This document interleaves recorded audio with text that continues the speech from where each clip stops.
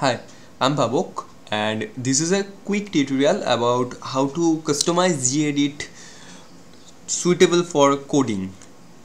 So first thing first you will need an additional package that does not come with standard Ubuntu installation. So let me just open up the terminal by pressing Ctrl Alt T as a shortcut and it just opened in my another display so I'll just bring it over here and the command would be sudo apt install gedit plugins. By the way i'm using the key tab to autocomplete the commands for me. And press enter. I'll give my password. And i already have installed that. Uh, if you did not have it would do this for you. So anyway i'm done here. And I'll put the command in the description of the video but I really think you should like learn the command line as you're coding I suppose. So next thing open up gedit uh, which is called text editor in the menu. So anyway first go to edit and then preferences. From here display line numbers. You can display the right margin at column 80 or not. It's up to you. I don't really turn that on. And we need to open sorry enable this highlight current line highlight matching brackets.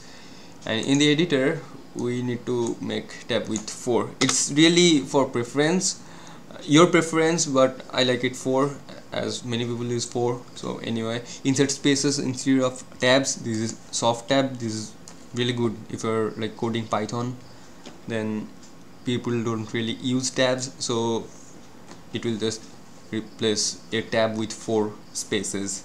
And enable automatic indentation this is very very important.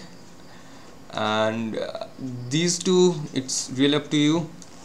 Font and colors choose any of the themes. I really prefer the solarized dark and i actually configured this in my atom and android studio and intellij.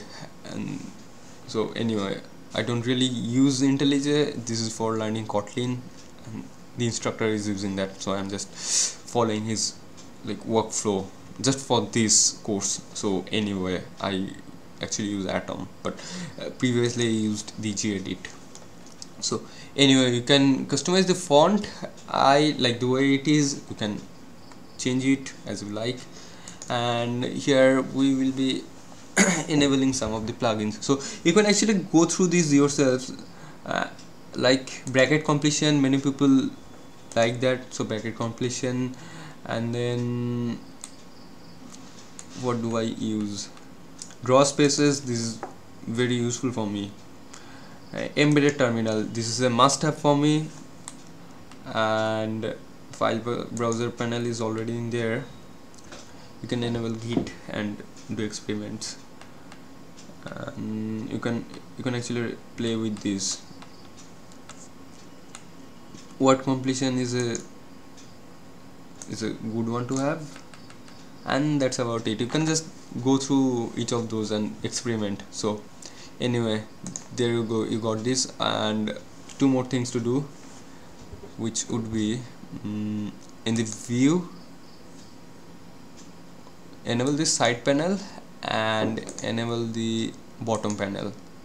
And drag it down there we don't need half of the screen filled with the terminal. So now I'm just going to open a python file. Okay so randompass.py maybe open with gedit.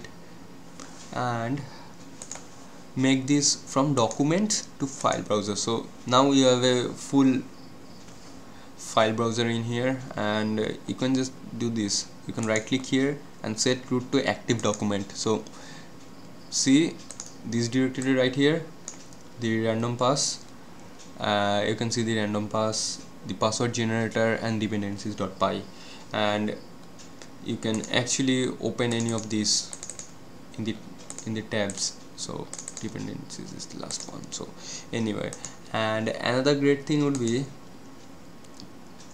hold on a sec. I don't really remember how to how did I code this thing. So anyway uh, next thing next useful thing is right click in the terminal and change the directory.